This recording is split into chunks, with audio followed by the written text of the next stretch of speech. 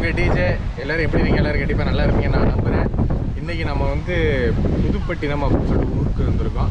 இந்த ஊர் வந்து கொஞ்ச நாளுக்கு முன்னாடி தாங்க நம்ம கண்ணில் தென்பட்டது.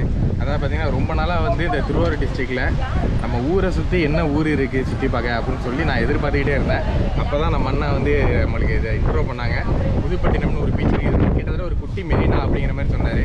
அந்த குட்டி மெரினாக்கு வாங்க போவோம். வாங்க வீடியோ போகலாம் நாங்கள் வந்து இன்றைக்கி காரில் தாங்க வந்தோம். அதனால் காரை வந்து பார்க்கிங்கில் கடைசியாக போட்டுட்டோம்.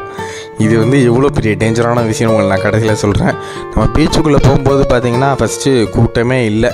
என்னடா இதெல்லாம் ஒரு பீச்சா அப்படிங்கிற மாதிரி தான் இருந்துச்சு. உங்கள் எல்லாருக்குமே தெரியும். என்னடா கூட்டமே இல்லை. இது வரலாம் ஒரு பீச்சா அப்படின்னு அதுக்கப்புறம் தண்ணியெல்லாம் பார்த்திங்கன்னா கருப்பு கருப்பாக ஒரு மாதிரி ஒரு நார்மல் பீச் மாதிரியே இல்லை. என்னதோ ஒரு காட்டுக்குள்ளே காட்டு ஓரமாக இருக்கும்ல. அந்த மாதிரி ஒரு பீச் மாதிரி இருந்துச்சு. சரி நம்ம ஓரமாக போயிடுவோம். ஏன்னா வந்து கொஞ்சம் பேர் குளிச்சிக்கிட்டு இருந்தாங்க. நம்ம ஓரமாக போய் குளிக்கிறது நல்லது அப்படின்னு சொல்லிட்டு நம்ம கூட வந்தவர் சொன்னார். அவர் ஆல்ரெடி வந்திருப்பார் போல். அவர் சொன்னதின் பேரில் நம்ம கொஞ்சம் ஓரமாக போயாச்சு. டிஜேஎஃப் பார்த்துக்கிட்டிங்கன்னா நம்ம வந்து இப்போ குளிக்க போகிறோம் நம்ம வந்து அண்ணனை மாதிரி சட்டியோட குளிக்காதீங்க. குடும்பம்லாம் பார்க்குது அதனால் பேண்ட்டு போட்டு தான் குளிக்க போகிறேன் ஆனால் உங்களுக்கு கூச்சமே இல்லையா உங்களுக்கு? என்ன? சட்டியோட குளிக்கிறீங்க? சரி நானும் ஷர்ட் அவுத்துறேன் யாரும் பயப்பட வேண்டாம்.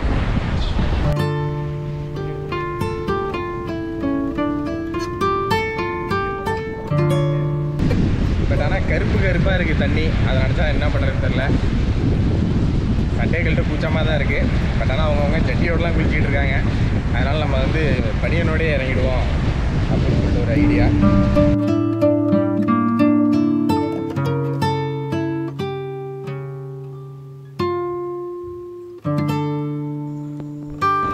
இது ஒரு புது பீச்சுங்கிறனால நான் தண்ணிக்குள்ளே இறங்கினாலும் கொஞ்சம் பயந்தேன். ஏன்னா காலில் இந்த சங்கு இதெல்லாம் வந்து தட்டுப்படும். ஆனால் தட்டுப்படுதான்னு பார்த்தேன். அப்படி ஒன்றும் அவ்வளோவா தட்டுப்படுற மாதிரி தெரியல நம்மளுக்கு. இது வரைக்கும் நடையாம வந்துட்டோம். என்ன சொல்லுங்க. கடலுக்குள்ள நிக்கிறீங்க? எப்படி இருக்கு? ரொம்ப நல்லா இருக்கு. நண்பர்களே உள்ள ரொம்பவே ஜாலியா இருக்கு உள்ள நிக்கிறதுக்கு. இங்க பாருங்க இதளவு தண்ணி வந்துட்டு.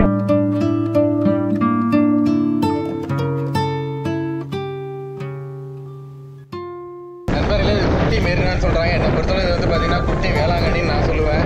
ஏன்னா அந்தளவுக்கு கடல் தண்ணி நல்லா இருக்குது கடலுக்குள்ளே நம்ம ஒரு கிட்டத்தட்ட அரை மணி நேரமாக விளையாண்டுட்டு இருந்தோமா? நம்மளுக்கு ரொம்ப பசி எடுக்க ஆரம்பிச்சிட்டு. அதனால் நான் என்ன பண்ணேன்னா கடல் ஓரமாக எதுவும் விற்கிறாங்களா அப்படின்னு பார்த்தேன். ஒரு சின்ன பையன் வந்து மாங்காய் பீஸ்லாம் விற்றுக்கிட்டு இருந்தாங்க. சரி அதை நம்ம சாப்பிட்டு பார்ப்போம் அப்படின்னு சொல்லிட்டு அவன்கிட்ட போயிட்டு நம்ம மாங்காய் வாங்கி தின்னு பார்த்தோம். அவன் கேமரா பார்த்து பயந்து ஓட ஆரம்பிச்சிட்டான். நான் மிருகம் இல்லைடா நானும் மனுஷன் தான் அப்படின்னு அவன்கிட்ட சொல்லிட்டு ஒரு மாங்காய் பீஸ் எடுத்து சரி தின்னு பார்ப்போம் அப்படின்னு சொல்லிட்டு பொடியெல்லாம் கொட்டி ஃபஸ்ட்டு கொஞ்சோண்டு டேஸ்ட் பண்ணி பார்க்கலாம் அப்படின்னு சொல்லிட்டு ஒரு பீஸ் எடுத்து தின்னு பார்த்தேன். டேஸ்ட் வந்து பார்த்திங்கன்னா அட்டகாசமாக இருந்துச்சு. ஏன் இது சொல்கிறேன்னா நம்ம வந்து அவ்வளோ பசியில் வந்தாங்க. ரொம்பவே சூப்பராக இருந்துச்சு. சரி எல்லாத்தையும் முடிச்சுட்டு ரொம்ப நேரமாக நான் விளையாட ஆரம்பிச்சிட்டேங்க. தண்ணிக்குள்ளே இருந்தாலே வந்து டைம் போகிறதே தெரியாது. எப்போவுமே கடல் உள்ளே நீங்கள் போய் இறங்கிட்டிங்கன்னா டைம் போகிறது தெரியாது. அதுக்கு முன்னாடி எல்லாம் யோசிப்பாங்க காலை மட்டும் நினப்பாங்க. ஆனால் நீங்கள் காலை நினைக்காதீங்க. உள்ளே வந்துடுங்க அப்போ தான் உங்களுக்கு டைம் போகிறதே தெரியாது. அப்புறம் ஒரு வழியாக குளித்து முடிச்சுட்டு நான் வந்து பார்த்தேன். அதில் நிறையா இலைகள்லாம் நிறையா வந்ததுங்க கடலில். அதில் வந்து நம்ம கையெல்லாம் பார்த்தீங்கன்னா கொஞ்சம் என்ன சொல்கிறது ஒரு அரிப்பு வர ஆரம்பிச்சிட்டு. வழக்கம் போல் நீங்கள் நம்ம சேனலுக்கு புதுசாக இருந்தீங்கன்னா நம்ம சேனலை லைக் பண்ணுங்கள் ஷேர் பண்ணுங்கள் சப்ஸ்கிரைப் பண்ணிவிடுங்க மறக்காமல் உங்கள் ஆதரவுக்கு என்னோட நன்றிங்க. அப்புறம் நம்ம குளித்து முடிச்சுட்டு நம்ம அப்படியே மெல்லமாக வர ஆரம்பித்தோம் கூட்டம் கொஞ்சம் இன்க்ரீஸ் ஆக ஆரம்பிச்சது. நார்மலாக இல்லாமல் இன்க்ரீஸ் ஆரம்பிச்சு சாப்பிட எதுமா கிடைக்குமா அப்படின்னு சொல்லிட்டு நாங்கள் பார்த்தோம். அப்போ தான் வந்து பார்த்திங்கன்னா அந்த பொட்டேட்டோவில் ஏதோ ஒன்று உருட்டிகிட்டு இருந்தாங்க. சரின்னு சொல்லிட்டு அதை நம்ம ட்ரை பண்ணி பார்ப்போமே அப்படின்னு சொல்லிட்டு அவர்கிட்ட கேட்டோம். அவரும் உடனே போட்டு தந்தார். அந்த பொட்டேட்டோ சுருட்டினதை வந்து பார்த்திங்கன்னா எப்படி அழகாக ஸ்லைஸ் ஸ்லைஸாக வச்சு தராரு பாருங்க நம்மள்ட்ட. அதை எண்ணெயில் போட்டு பொரிச்சாங்க. எண்ணெயில் போட்டு பொரிச்சிட்டு நம்ம கையில் உடனே தந்துட்டாங்க. அதில் வந்து மயோனஸு அப்புறம் அந்த டொமேட்டோ சாஸு இதெல்லாம் வந்து வழக்கம் போல் ஊற்றி நம்மளுக்கு கொடுத்தாங்க. அதை நம்ம சாப்பிட்டு பார்த்தோம். டேஸ்ட் வந்து பார்த்திங்கன்னா உண்மையிலே நல்லா இருந்துச்சு. அப்புறம் இறால் வடைன்னு சொல்லிட்டு நான் இது வரைக்கும் அவ்வளோவா நான் வேற எங்கேயும் தின்னது கிடையாது இறால் வடை. இந்த இறால் வடை இங்கே தான் ஃபஸ்ட் டைம் நான் தின்கிறேன். முஸ்லீம்ஸ் வந்து அதிகமாக இறால் வடை திம்பாங்க தின்னு பார்த்தா டேஸ்ட்டு சூப்பராக இருந்துச்சுங்க. அப்புறம் வந்து பார்த்திங்கன்னா அங்கேயே வந்து பார்பிக்யூ ஏதோ அவங்களால முடிஞ்சது பார்பிக்யூ அந்த டின்னில் போட்டு உருட்டி பரட்டிக்கிட்டு இருந்தாங்க. இதோட ப்ரைஸ் வந்து பார்த்திங்கன்னா ஐம்பது ரூபா சொன்னாங்க. ஐம்பது ரூபாய்க்கு எத்தனை பீஸ் தான் வைக்கிறாரு அப்படின்னு சொல்லிட்டு பார்த்தா அதில் நீங்களே எண்ணிடலாம். எத்தனை பீஸ் இருக்குன்னு நீங்களே பாருங்கள் கரெக்டாக ஒரு எட்டோ ஒம்பது பீஸோ நம்ம தான் இருக்குது சரி அதில் கொஞ்சம் வெங்காயம்லாம் வச்சுட்டு அதுலேயும் வந்து நம்மளுக்கு மைன மயோனஸ் வந்து ஊற்றி கொடுத்தாங்க. மயோனஸ் வந்து கொஞ்சம் வார்த்தை தவறுது. அதை கொஞ்சம் அட்ஜஸ்ட் பண்ணிங்க மயோனஸ் ஊற்றிட்டு நம்ம அதை சாப்பிட்டு பார்த்தோம். அதோட டேஸ்ட் எப்படி இருந்துச்சுன்னு பார்த்தீங்கன்னா கொஞ்சம் ரொம்பவே கருக விட்டுட்டாப்புல அப்படின்னு தான் சொல்லலாம். ஆனால் எனக்கு வந்து சிக்கனை ரொம்ப ஹீட் பண்ணி ரொம்ப கருகிற மாதிரி கொடுத்தா எனக்கு வந்து அது ரொம்ப ஃபேவரேட்டாக இருக்கும். அது மாதிரி தான் இருந்துச்சு.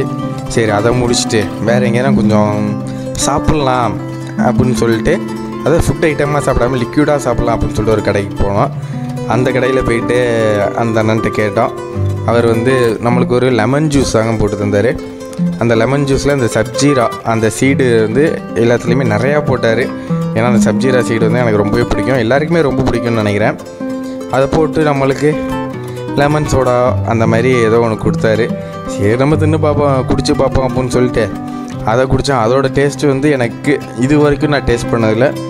இந்த இடத்துல அந்த சப்ஜீரா ஓ சீடோட அந்த இதை குடிச்சு ரொம்பவே நல்லா இருந்துச்சு. புதுப்பட்டினம் வந்தால் கண்டிப்பாக அகரம் சர்பத்து கடையை ட்ரை பண்ணி பாருங்கள் அப்புறம் என்னோடய ஃபேவரேட்டான பைனாப்பிள் வாங்கினேன். பைனாப்பிள் வந்து எனக்கு தமிழ்நாட்டிலே ரொம்ப பிடிச்ச இடம்னா நாமக்கல் டிஸ்ட்ரிக்டில் தாங்க. நாமக்கல் டிஸ்ட்ரிக்டில் பஸ் ஸ்டாண்டில் போட்டு தருவாங்க. அவ்வளோ சூப்பராக இருக்கும். அதோட டேஸ்ட்டுக்கு நான் ரொம்பவே அடிமைங்க. அப்புறம் இதே கடையில் பார்த்தீங்கன்னா உங்களுக்கு பிரெட் சாண்ட்விச்சும் போட்டு தந்தாங்க. சரி என்னடா இங்கெல்லாம் போய் பிரெட் சாண்ட்விச் போட்டு தராங்க? நல்லாவாக இருக்க போகுது அப்படின்னு நினச்சி தான் நான் திங்க ஆரம்பித்தேன் பட் ஆனால் அதில் ஒரு பீஸ் எடுத்து திங்கும் போதே பார்த்தீங்கன்னா ஒரு ரெஸ்டாரண்ட்டு லெவலில் எனக்கு ஒரு டேஸ்ட் கொடுச்சு கண்டிப்பாக நீங்கள் புதுப்பட்டினம் வந்தால் இந்த பிரெட் சாண்ட்விச்சை கண்டிப்பாக நீங்கள் ட்ரை பண்ணி பாருங்கள் அப்புறம் அந்த புதுப்பட்டினம் வந்து இப்போ தாங்க ரீசெண்டாக டெவலப் பண்ணிட்டு வராங்க. அதனால் ரொம்ப கூட்டமாக இருக்கும் நம்ம வந்தோடனே ஒரு கார் தான் இருந்துச்சு. இப்போ வந்து பார்த்திங்கன்னா எக்கச்சக்கமான கூட்டமாயிடுச்சு கிட்டத்தட்ட அரை மணி நேரத்துக்கு மேலே தான் ஆகும் போல். கண்டிப்பாக இந்த நீங்கள் புதுப்பட்டினம் பீச்சை ட்ரை பண்ணி பாருங்கள் வாங்க எல்லாருமே. நண்பர்களே இப்போ வந்து பார்த்தீங்கன்னா நம்ம கிளம்பிட்டோம். ஆனால் அண்ணன் வந்து என்ன சொன்னால் கொஞ்சம் லேட்டாக போங்க. ஆறு மணிக்கு மேலே தான் கூட்டம் clear ஆகும். இப்போ போனீங்கன்னா உங்களால் நம்பர கூட முடியாது. கார்லேயே உட்கார வேண்டியதாக பண்ணாங்க. அண்ணன் சொன்னபடி நடந்துட்டு நான் அவர் பேச்சு கேட்க மாட்டேன் நான் மன்னிச்சிருங்க என்ன எல்லாரும் நாங்கள் அவர்கிட்ட மன்னிப்பிக்கிட்டோம் நீங்களும் இந்த மாதிரி பைக்கில் வந்தீங்கன்னா பைக்கில் வந்தீங்கன்னா உண்மையிலே கொஞ்சம் நல்லா இருக்கும். ஏன்னா அது சீக்கிரம் பூந்து போயிட்டு இருக்கலாம். அதுக்கு முன்னாடி வந்தீங்கன்னா ஒன் வே தான். ரொம்ப கஷ்டமாக இருக்குது மற்றபடி இந்த புதுப்பட்டினத்தை வந்து நம்மளுக்கு அறிமுகப்படுத்தி வச்சதுக்கு நம்ம அண்ணனுக்கு நன்றி.